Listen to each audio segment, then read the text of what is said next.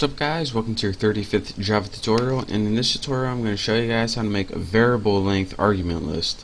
Now I showed you guys how to build methods using uh, multi-dimensional arrays and also how to build basic methods but each time you did you needed to tell it what arguments it took.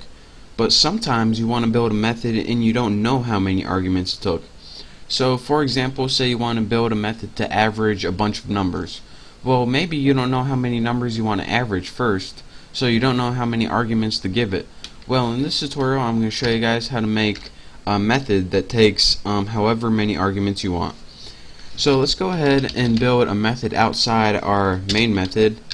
Uh, let's build a public static int since it's going to be returning integers average and I just named it average you can name it whatever you want now go ahead and it's going to take an argument of integers but you don't know how many. So anytime you don't know how many what you do is put an ellipse and that's three dots and then put the name of the variable you want to use.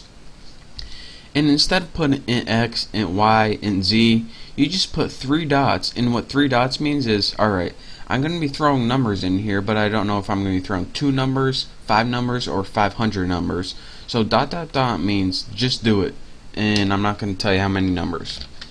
So now that we have that, that's a new thing uh, I wanted to show you in this tutorial. Dot dot dot means you don't know how many arguments it's going to take. Let's go ahead and build a simple function. Let's just total um, all these numbers, so it starts at zero since we don't have any numbers yet. Uh, let's make an enhanced for loop um, set our variable equal to x and it takes numbers in it. And let's just add all those numbers to the total. So total plus equals x so it's going to loop through all those numbers and add them all to the total. So now after that we just need to return um, the average. So return total over numbers the length. So what this does if you threw uh, five numbers in here, it's going to return total divided by five. If you only threw um, three numbers in here, it's going to return that total divided by three. So number, which should actually be numbers, is what you passed into it, and the length of it is how many values. So that's how that works. So this is our method we just built. Now we need a way to output it on the screen. So go back to your main function so you can run this program and just write system out move my mouse. Print line and let's just print something like um, average and then in here in your average method you can type however many numbers you want. 43 56 76 and 8 and let me go ahead and run this and show you guys. The average of this is 45 so that took um, four arguments or four numbers right there but let's say we wanted to add more. 65, 76, 2, and 31. Let's go ahead and run this. Does it still work? Yep.